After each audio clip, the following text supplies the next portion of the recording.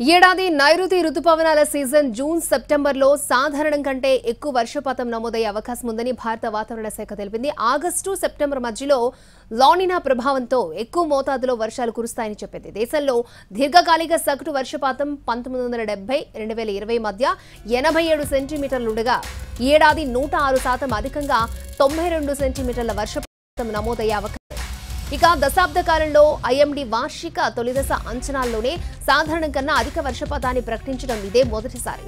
ప్రస్తుతం అల్నినో పరిస్థితులు బలహీనపడుతున్నాయని నైరుతి ప్రారంభం నాటికి వాటి ప్రభావం మరింత తగ్గుముఖం పడుతుందని వాతావరణ శాఖ అధికారులు తెలిపారు. సాధారణ వర్షపాతానికి ఇరవై తొమ్మిది శాతం సాధారణం కంటే ఎక్కువ వర్షపాతానికి ముప్పై ఒక్క శాతం అధిక వర్షపాతానికి ముప్పై శాతం అవకాశం ఉన్నట్లు చెప్పారు.